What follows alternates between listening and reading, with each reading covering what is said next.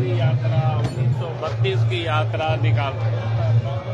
हम लोग बार बार कह रहे थे कि भाई ये राजनीति कर रहे हैं, झारखंड की जनता को ये धोखे में रख रहे हैं नौजवानों को ठग रहे और कल इन्होंने जो, परसों इन्होंने जो स्थानीय नियोजन नीति जो बनाई है, किसी को समझ में नहीं आ रहा है क्या उन्होंने बनाया। उनके विधायकों को भी नहीं पता, उनके मंत्री को भी नहीं पता है।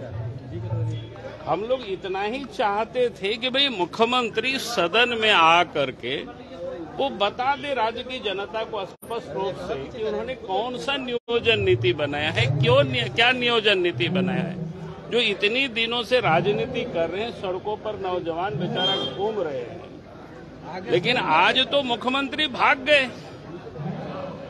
आपने देखा होगा कि भाई इनको ये चिंता नहीं है कि आपने क्या कहने कौन सी मांग थी? इतना ही तो मांग थी, मुख्यमंत्री आकर के बताते राज्य की जनता को, यहाँ के नौजवानों को बताते। आपने इतनी यात्रा कर रहे हैं 1932 की, और अभी आपने क्या किया, क्या नहीं किया? आपने विधानसभा भी विशेष सत्र एकदम बुलाया, और ऐसा पारित किया जैसा मानो लगा कि बीजेपी उसके विरोधी, ऐसी आपने पोज करने की कोशिश की थी। तो आज आपने क्या किया है? इतना ही हम लोग चाहते हैं कि मुख्यमंत्री को सदन में आकर के बताना चाहिए था। देखिए मुख्यमंत्री तो कल ही भाग गए वो बजट सत्र छोड़ करके ही भाग गए।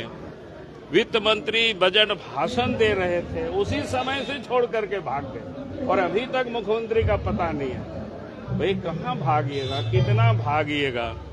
होली नहीं खेलेंगे सर, सर, होली? होली का बहिष्कार। ये सरकारी होली का बहिष्कार। अब होली तो हम लोग जनता के साथ मनाएँगे। अब सरकार इतनी जवाब दे देती मुख्यमंत्री तो हम लोग मुख्यमंत्री के साथ मनाते।